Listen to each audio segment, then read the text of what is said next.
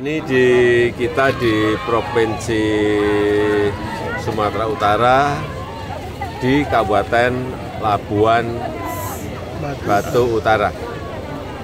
Yang kita lihat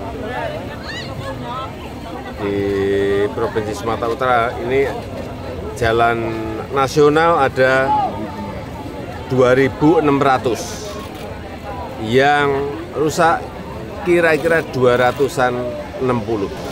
Ini jalan nasional. Yang kedua jalan provinsi. Jalan provinsi ada 3.005 km. Jalan provinsi.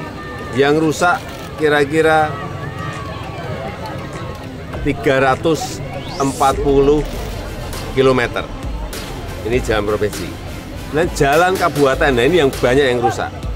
Dari 33.000 33.000 km di Sumatera Utara yang rusak kira-kira 13.000 km. Salah satunya ini yang kita lihat di Labuan Batu Utara, di Labura. Sini ini ada 13 km, kemudian yang menuju ke Seledong, Tanjung Ledong, itu ada 17 km dengan keadaan yang kurang lebih sama seperti ini. Ini yang segera kita perbaiki, nanti akan dimulai perbaikan di lapangannya paling lambat Juli. Juli. Dan semua yang di Sumatera Utara tetap sama kita bagi, ada yang dikerjakan oleh Pak Gubernur, ada yang dikerjakan oleh Pak Bupati, ada yang diambil alih oleh pusat.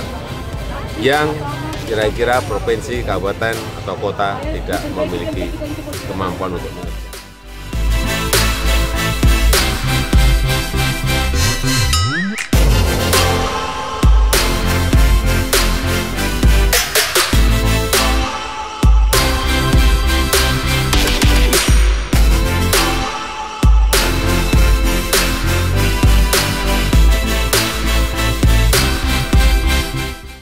Terima kasih sudah nonton.